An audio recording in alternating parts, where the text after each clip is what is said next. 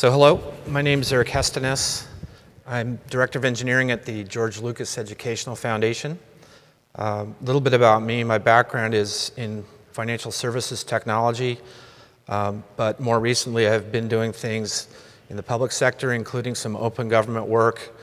Um, that led me into some work um, on things like peer-to-patent, which is an open government project, and some help with the White House Office of Science and Technology Policy.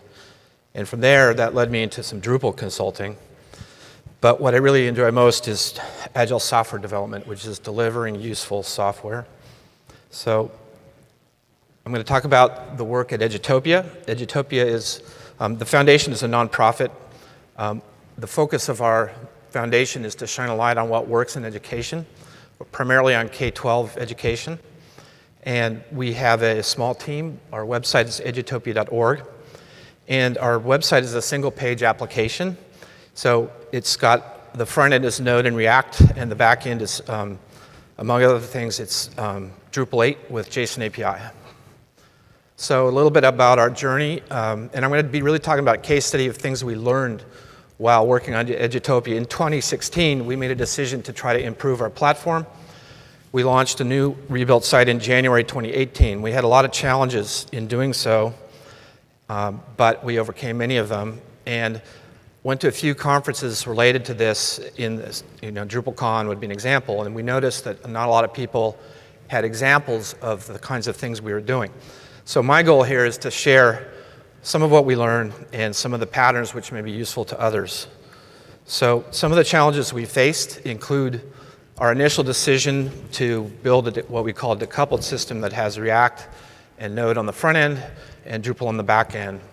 And then how to get data out of the API, um, resolving URLs, previews, media handling, and performance. So these are some of the challenges we faced, and I'm going to talk about them today.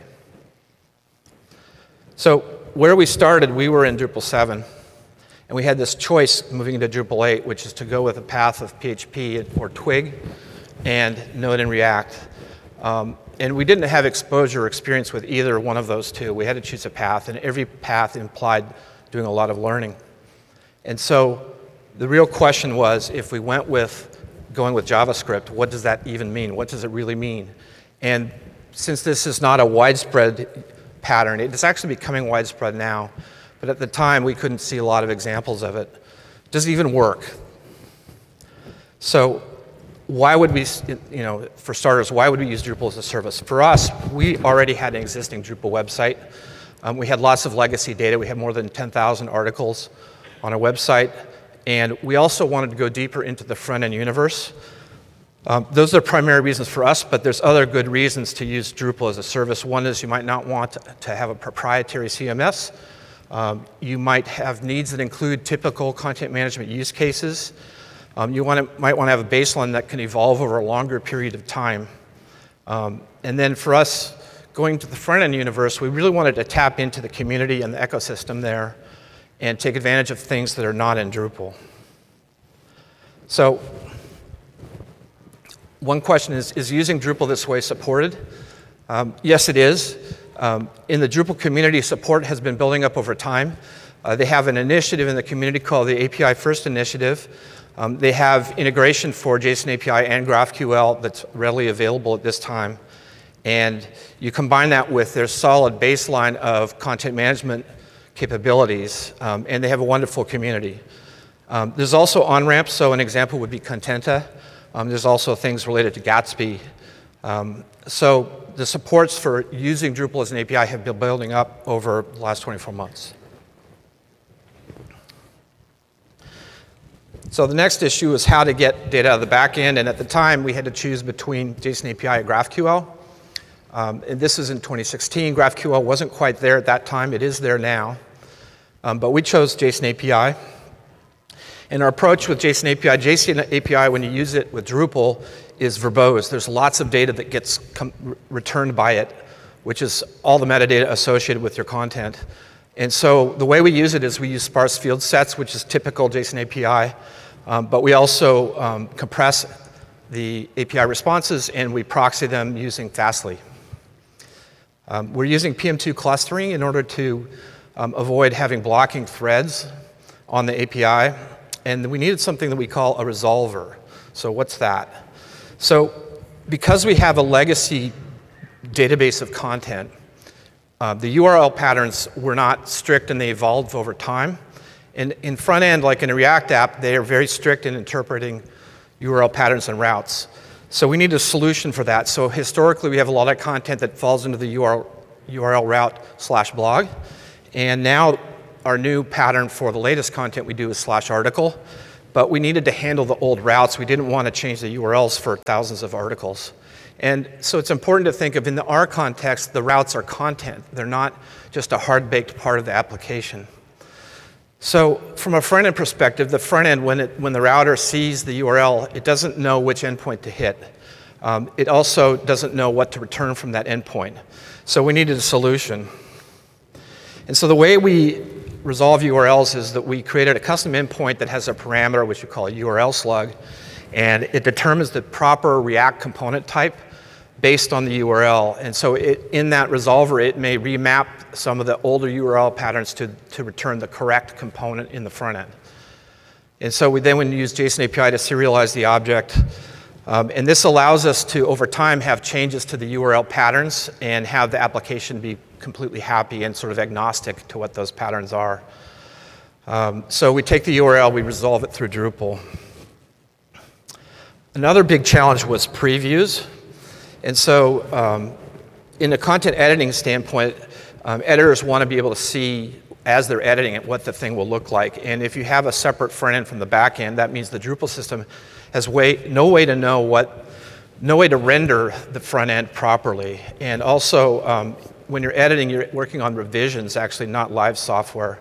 And JSON API doesn't directly support revisions.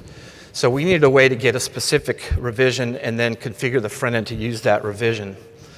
Um, so the first thing we did, this is a, a typical um, kind of vanilla Drupal edit form. And we implemented a module called Workflows that lets you assure that when you are creating a draft, the draft gets saved.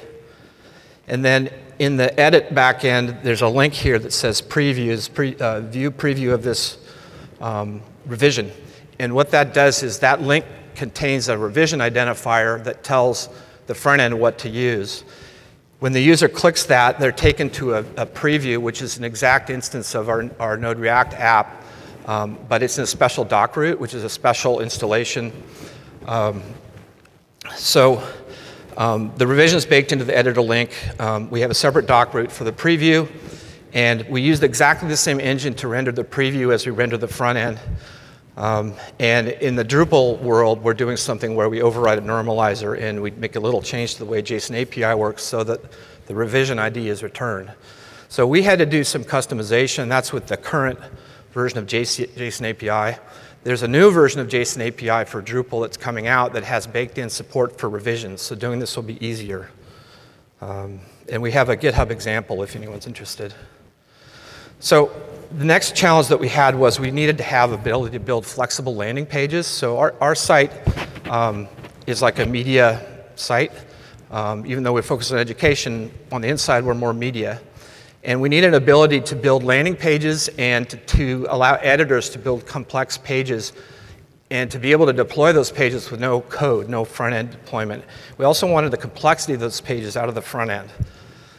So these are some examples. Um, examples of layouts that we handle are like a list view. We have a, um, a small grid and a big grid, and we have what we call a lead that has a lead article. And these are just some examples. So the way the experience works for an editor, um, and um, let me actually show this.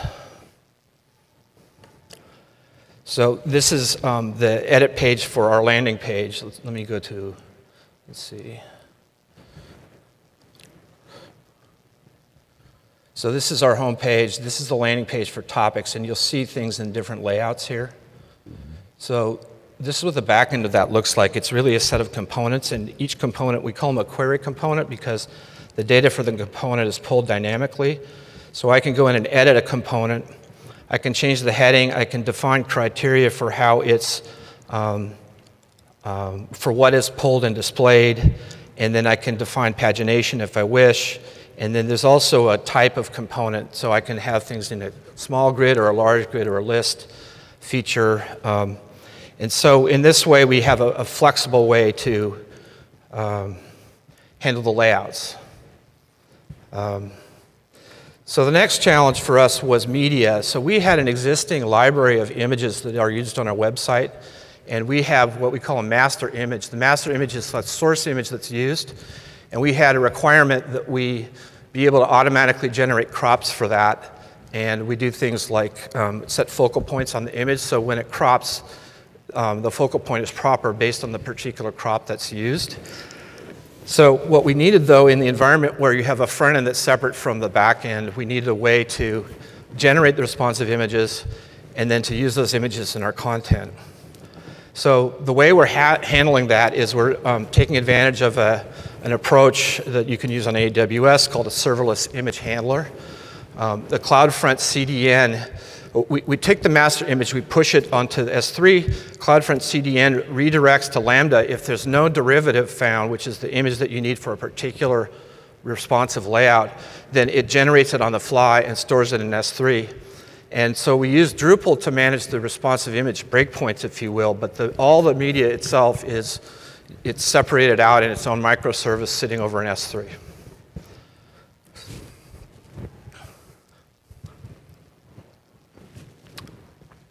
So for us, I think key question is what's the upside of decoupling? Um, and decoupling is you know, separating the front and the back end. We wanted a cleaner and better separation of concerns. We wanted a higher degree of control over the front end and the middle tier.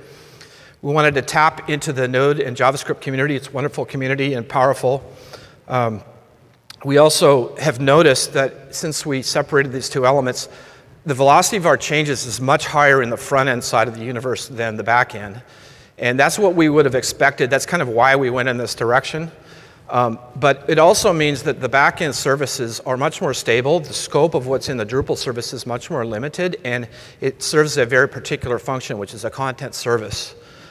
Um, and so that's a smaller footprint, which means that we actually spend relatively less time focusing on the back end experience and developing services, and most of our time is sp spent on the front end. Um, and because of the separation, we can do smart things like um, remember what's happening in the session and be smart about network activity and how we handle network traffic.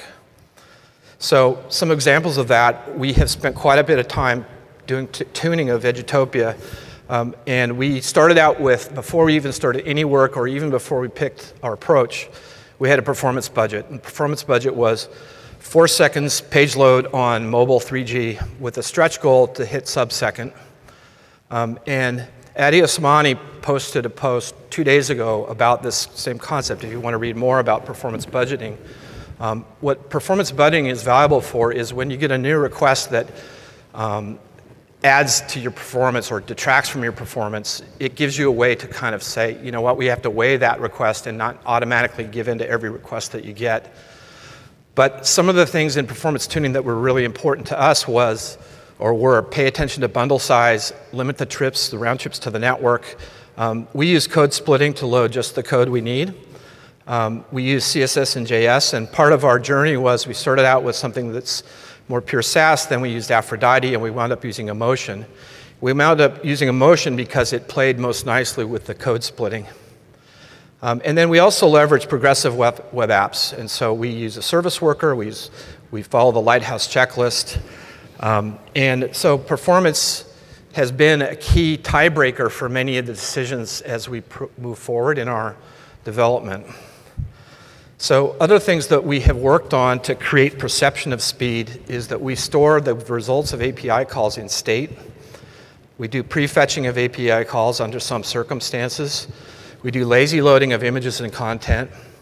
We do fetching of image. When you hover over an image on desktop, it'll fetch the content behind it um, if you hover over a link. Um, and then also, we spend a lot of time just doing relentless monitoring using WebPageTest and Lighthouse DevTools and PageSpeed Insights. And it's kind of ironic, even though we had that um, four second page load budget, even during the project, the metrics that they use for page measurement have changed now to first contentful paint and so forth. So even though we set a goal. Um, the target moved even in the middle of the work, um, but we were in a good place. Um, so some of the gotchas that we experienced are um, service workers. So we use Workbox, and I noticed about, I don't know, a week or two, they added Workbox into the Create React, React app 2, version 2. Um, and our experience has been that Workbox saves a lot of time and it, it helps you with building a performant application because it has um, well-defined patterns for things like caching content. Um, and other things we observed is that if you make our app too smart on the client side, then you could have an unexpected negative impact to your SEO. And so handling server-side rendering is really important. Um, um, it's really important to make sure that the bits that you want Google to find are found. Um, and uh, we also implemented Google AMP. And in our environment, Google AMP implies um, a whole second node application because it's so dissimilar from what we do in our standard application that we needed a whole separate application. And we also have been bit by web font performance, which is a fairly common thing. Um, so, but for us, one of our biggest fears has been um, the, the iceberg of learning um, a whole new set of frameworks. There's so many things to learn. We have a very small team. We have to know Express, React Router, Redux, Webpack, um, and not only that, but all the Drupal side things, not only that, but Amazon things. Um, we also have a new tool chains. Um, so coming up to speed on these things has taken a lot of time, um, and it, it, required us to get experienced help on our team as well. Um, so we also have been leaning hard into very well established patterns. Um, so this picture gives an example of where we are today. So I'm going to go from right to left. So at the bottom corner, you have Drupal with JSON API. And above that, you have what we would describe as our media service, which is really CloudFront with Lambda and S3. And then moving towards the middle, we have three instances of the front end application, or it includes actually services. It's got Node React and Redux. One is what we call production. The second is an instance for preview, and the third is an instance for AMP. Um, if you didn't use AMP, obviously you don't need that third instance. And then we have um, Fastly wrapped around the services. So when I hit the API, I'm actually hitting Fastly, except the first time around. And then um, we have the browser, and the browser is a progressive web app. Um, it's got an app shell in it, it's got React and Redux, and we're doing a lot of things with caching and data. Um, so um, so what are some of the things to expect from a decoupled Drupal? You expect to have a workable JSON API service. You expect to have solid, predictable, and fast API performance. Um, it needs to fit into the tool chains. On the Drupal side, the tool chains is Composer, um, which it does fit into. Um, you need some way to handle a preview system. And the, the support from the community for those things is pretty solid. As we go down here, down the list, the support isn't quite as good. Um, so the preview support, as I mentioned, that's going to show up in an upcoming release of JSON API 2.0. Um, the resolver is something that you have to uh, work a little harder on to develop. Um, and then there's plenty of vendor support for spinning up and hosting Drupal these days. Um, but what they do need is better support for onboarding JavaScript developers. Um, so I'm just going to uh, give a few more examples. So this is our, uh, one of our articles. This, uh, this is actually one of our more complicated articles in terms of the content. So when I look at this um, URL, this is an actual URL that's hitting our API. So we have a URL slug, and this is the slug which defines the content. So when I hit this, it's Going to the back end, it's um, first checking Fastly. If it's nothing in Fastly, then it goes all the way through. And it looks at the URL route. It determines based on the route what the uh, type of object is that should be returned. And then it actually returns the appropriate object. It's all in like 30 milliseconds or less.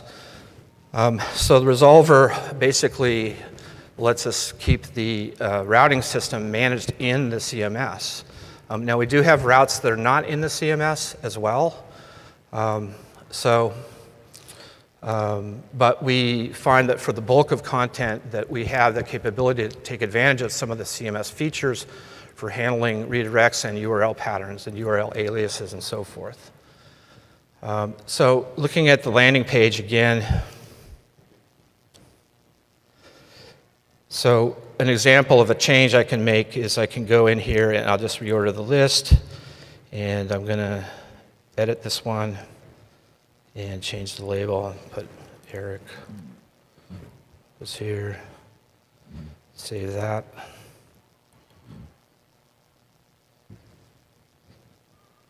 Uh, something's changed.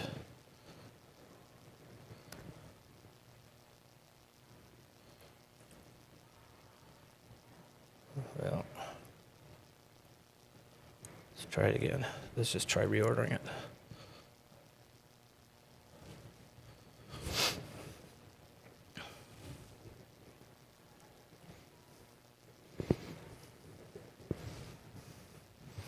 So I just went and reordered the list on here.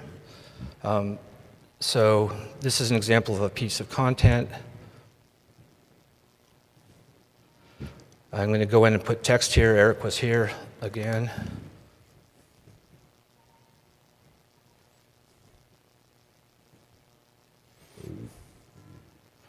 I'm going to save that. Now there's a link that says give me a preview of the system. And so that's an example of the loop that editors go in where they can make changes and very instantly see the response. The response is all handled in the front end, but they do all the editing in the back end.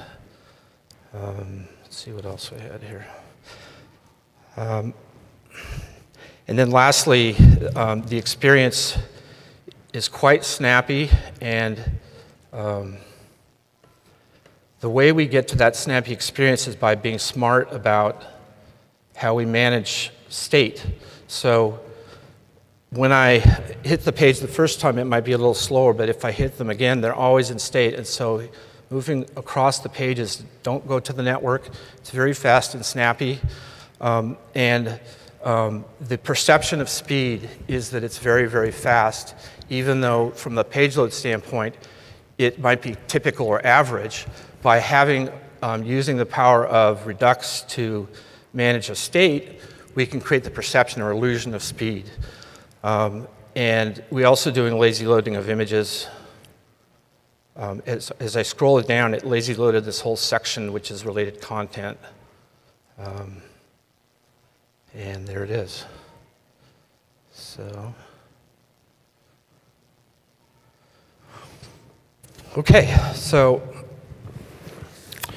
so kind of what's a key message here? A key message is that yes, you can leverage Node and React when I describe how we're improving performance, I'm really describing how anyone building a Node or React app would be tuning their performance.